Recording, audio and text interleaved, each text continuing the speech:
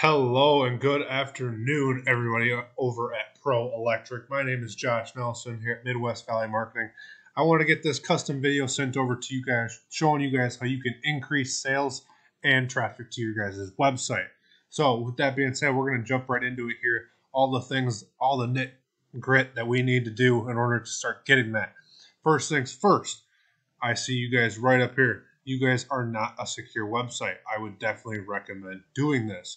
This is a about ninety-six to hundred dollars a year um, to secure everybody's you know information on your guys' website. You guys have a contact form, so we want to make sure that everybody's information is safe. Also, you guys have a beautiful site layout here. I have I love this photo. Please tell me you did this because that is so badass. Um, not to mention all your other guys' work that you guys have done is probably freaking awesome. Uh, I think we can scroll through it here.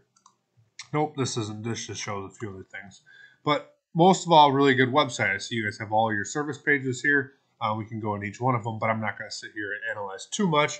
One thing I do see that you guys don't have a ton of content, which is a letdown for Google. Google loves content. They will rank you better for having more content. Content being this kind of stuff right here, right?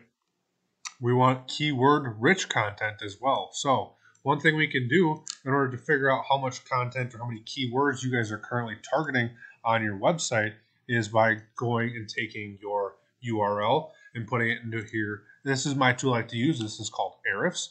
We can kind of analyze what you guys have for keywords currently, uh, what you guys are getting for traffic on those keywords specifically, and maybe what keywords we want to have on our website, right? So few of the things we got search volume 1100 right there. Get your name Pro Electric, uh, professional electric contractors. That's a good one at 150. Um, electric Pro, Pro Electric. A lot of it's your guys' name, which tells me you're probably doing traditional marketing currently, which is great. You always want to be doing all kinds of marketing that you can possibly do in order to get your name out everywhere. But that is what to me is what great is great about digital marketing. We can really, really, really target everything that we're looking for, right? We want to compare that to our top competition in your guys' area. And that right now is Jeremy Electric. These guys are absolutely blowing it online. They have a super unique site. Um, but then again, they're lacking all the content they could possibly lack, right? So we want to figure out what they're doing for numbers. Um, believe you guys were getting roughly 150 organic traffic you know, once you really start putting backlinks and keywords into your guys' website, these are the possibilities of what you guys can reach. I mean, the sky is limitless with this stuff. It's awesome. You can just continually add more, and all it's going to do is help you and help you. Um, so we're going to go and focus on these keywords, though. See what these guys are getting for traffic to their keywords. Similar to you guys, but they have some more service based ones, right? Like electrical questions, Overland Park, electrical questions, questions, local electricians, um, Lee's Summit electricians, you have 500, 300, 500, 500, 8,800 for local electricians, 2,200 for local electricians, Kansas City electricians, 400. You know, they're all the kind of keywords are just one niche off, but the more that we can offer into our website, the better our chances are. I think just with these couple alone, they're grabbing over 15,000 traffic every single month. We also want to go in and analyze their backlinks. We want to have lots and lots of backlinks, but not just any kind. We don't want just any kind of backlinks. There's some really spammy ones that'll fall off and actually hurt our rating. If we want to get good quality backlinks, um, good quality backlinks are going to be good citations, good guest posts, good link juice and influence.